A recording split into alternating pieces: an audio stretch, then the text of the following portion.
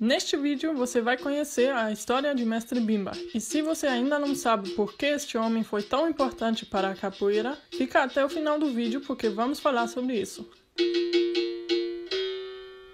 Mestre Bimba nasceu no dia 23 de novembro de 1899. Algumas fontes dizem que foi em 1900, em Salvador da Bahia, no bairro Engenho Velho. Seu pai, Luiz Cândido Machado, era campeão de batuque, uma luta do Nordeste que já não existe mais, e sua mãe chamava Maria Martinha do Bonfim. O nome completo de Mestre Bimba é Manuel dos Reis Machado, mas ele já recebeu seu apelido no primeiro dia de vida. Conta-se que sua mãe achava que estava grávida de uma menina, enquanto a parteira acreditava que seria um menino. As duas apostaram e a criança, quando nasceu, recebeu o apelido de Bimba, que na região era uma expressão usada para o órgão genital masculino. Aos 12 anos, Bimba começou a treinar capoeira com um africano chamado Bentinho, um capitão da Companhia de Navegação Baiana. Depois de quatro anos treinando, ele começou a dar aulas também, ainda ensinando a capoeira antiga que ele havia aprendido. Nessa época, a prática da capoeira ainda era proibida e punida com dois a seis meses de prisão.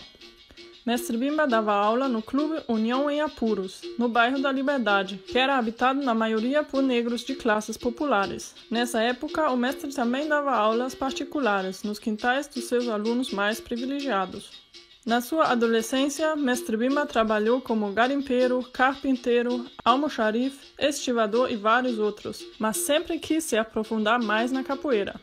No fim dos anos 20, Mestre Bimba percebeu que a capoeira estava perdendo um pouco do seu poder como luta e experimentou juntar elementos do batuque e movimentos criados por ele.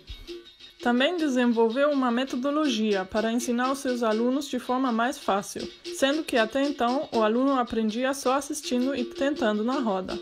Assim, usando movimentos mais rápidos e eficazes, ele criou um novo estilo de capoeira, que ele nomeou de luta regional baiana, sem usar a palavra capoeira porque ainda continuava uma prática ilegal.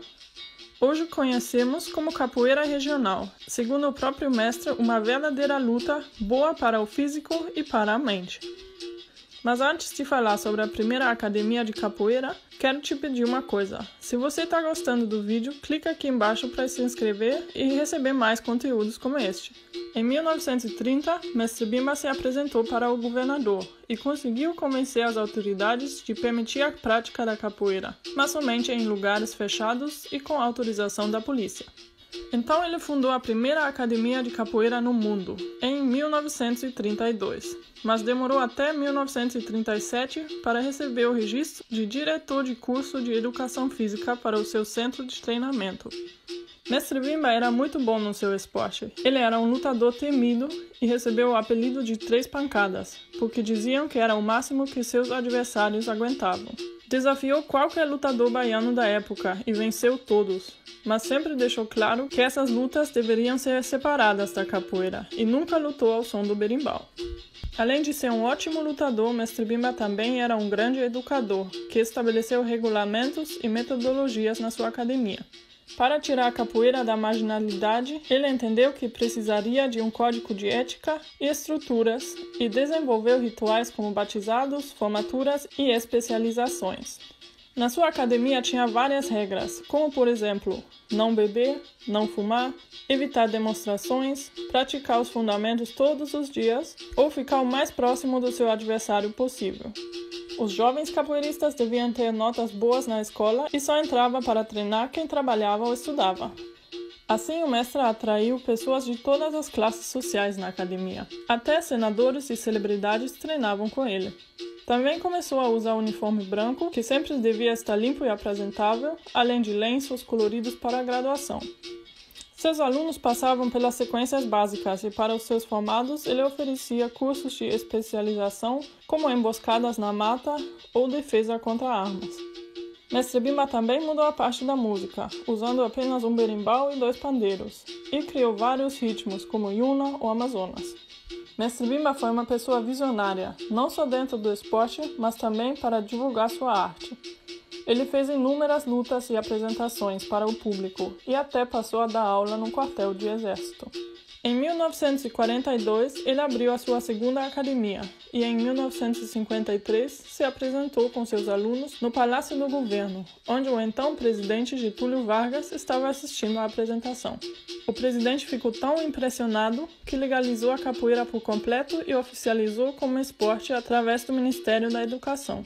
Getúlio Vargas também declarou a capoeira como único esporte verdadeiramente nacional. Mesmo com este reconhecimento e o crescimento enorme da capoeira, Mestre Bimba não estava feliz com a maneira que ele e seu trabalho estavam sendo tratados pelas autoridades baianas. Reclamava de promessas descumpridas e falta de apoio, e por isso decidiu em 1973 se mudar para Goiânia, aceitando o convite de um ex-aluno seu.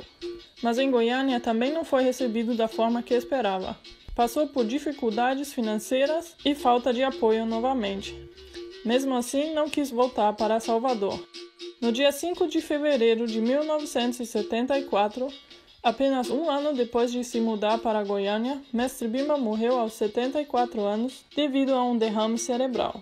As academias da Bahia ficaram fechadas por sete dias em sua homenagem.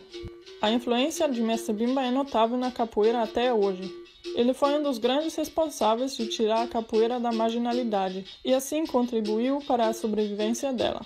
Não sabia ler nem escrever, mas conseguiu transformar uma atividade perseguida em arte nacional. Ele também foi responsável para a profissionalização da capoeira, pois antes não existia a profissão de um professor de capoeira. Seu trabalho foi reconhecido por diversos, na maioria depois da sua morte. Seus métodos atravessaram as fronteiras e ajudaram a espalhar capoeira pelo Brasil e pelo mundo. É o mestre de capoeira mais buscado na internet e tem inúmeros filmes, livros e músicas sobre ele. Se você quiser mais vídeos como este, clica no like e não esquece de se inscrever no canal. E já que você ficou até o final, tem uma informação extra para você. Sabia que o mestre Bimba tinha 1,94m de altura e que ele cobrava o mesmo valor para treinar e para assistir a sua aula? Semana que vem tem vídeo novo. Até lá você pode assistir este aqui, ó. Até o próximo vídeo.